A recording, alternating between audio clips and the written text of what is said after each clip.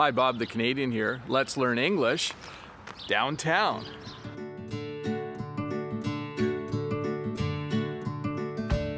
Hi, Bob the Canadian here. If this is your first time here and you're learning English, don't forget to click the subscribe button down below and give me a thumbs up at some point during this video if it's helping you learn English.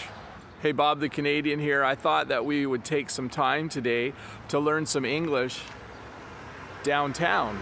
Uh, downtown is how we describe the parts of a town or city uh, where it originally started. So this is the downtown area of my local town, uh, and it has a lot of things uh, for us to look at. Um, and along the way, I'll teach you a little bit of English. So this is downtown Dunnville.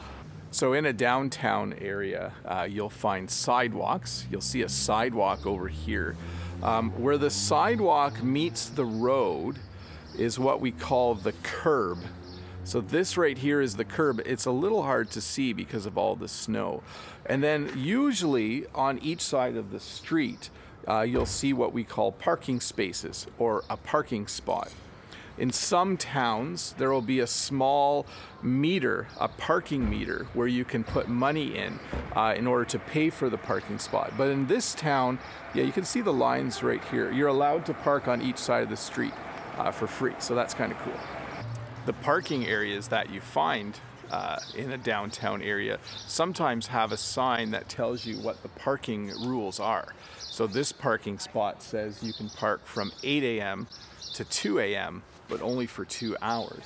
And above that, it says it's a snow route from November 15th to April 15th, and you're not allowed to park there from 2 a.m. to 8 a.m. That's to let the snow plows come through and clear out the snow.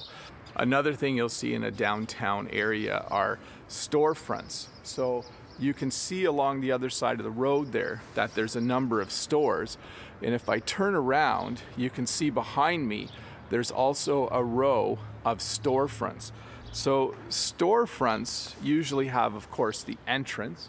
You see if I can find an entrance here. This green door is an entrance. But they also have their front display window. You'll find all sorts of different stores in a downtown area. Uh, in this downtown, there's a music store, there's a sweets shop where you can buy candies, there's a couple of restaurants. Across the street, there's a jewelry store, there's a bank, and there's also an electronics store. So, generally, in a downtown area, you can find almost any kind of store you want. When I look across the street, I see a shoe store I see a drugstore and two more banks. I guess banks are important because you can get money to go buy something. Another nice thing about downtown is you usually have street lights. You can see along this street here, there are a few street lights and there's one above me as well. Give you a closer look at it. You can see that these street lights are still decorated for Christmas. But the nice thing about a downtown is it has street lights it has the storefronts, uh, and at night you can come down and do a little bit of shopping because there's lots of light. If you listen, you can hear a bird singing. I, I hope that means spring is coming. Another thing you'll have downtown are places to park your bikes um, or a bike rack. Uh, so you can see here, even though it's winter in Canada, uh, someone still rode their bike uh, to the downtown area today. Uh, and they have a bike lock on it. You can see the bike lock here attaching it to the bike rack. So a lot of times in a downtown, you'll find a bike rack uh, where you can park your bike and lock it up. Another thing you'll see in a downtown area are a lot of fire hydrants.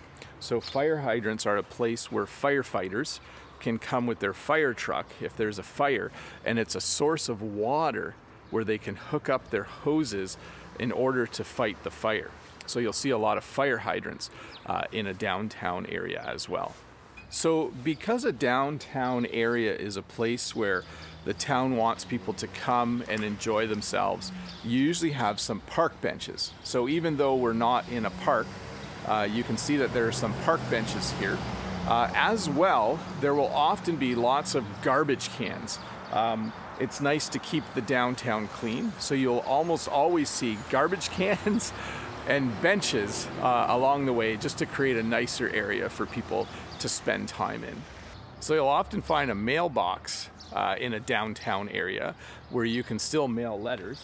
The letters go in the top here. You can open it up, put your letters in. Uh, by the way, if you haven't sent me a postcard yet, you still can. My address is down in the description. In Canada, where it freezes in the winter, you'll see a lot of this. This is a bucket of salt or a container of salt. And we have that there because we put salt down when it's really cold and frozen and there's ice on the sidewalks and the salt will actually melt the ice. So quite often in a downtown area you'll have businesses but above the businesses you'll have small apartments. So you have stores or businesses on the bottom level but in these buildings the next two levels are actually small apartments uh, where people live. Um, so you could rent an apartment uh, and live in the downtown area above a small business.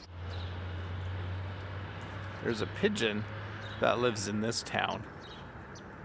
I'm not, not sure what not sure what he's doing, but he was up on this roof and he just flew down here. So uh, in uh, a lot of bigger cities, uh, you'll see a lot of pigeons. I think because people feed them. That would be my guess.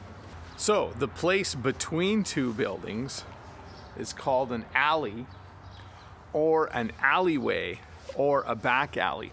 So you can see there's a building on this side and there's a building on this side. And this area here between the buildings is called an alley or alleyway or back alley. Here's what this town looked like a long time ago. It's kind of cool because you can see the old cars um, but a lot of the buildings are still the same as the buildings that, uh, that we were just looking at. So it's pretty cool.